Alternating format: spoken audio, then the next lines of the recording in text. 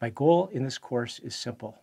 I want to help you become a successful negotiator in your personal life and in your business transactions.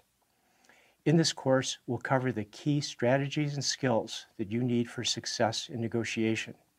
No business can survive without profitable contracts, and within a company, your negotiation skills can lead to career advancement.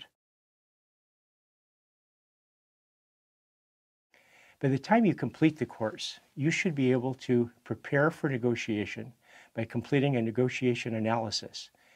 You should be able to use a checklist of key psychological tools.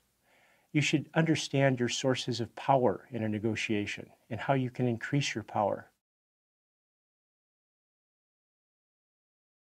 During the course, you'll also have a chance to practice your negotiation skills during a one-on-one -on -one negotiation.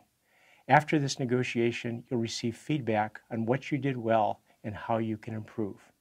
Finally, you should know that this course is based on leading academic research.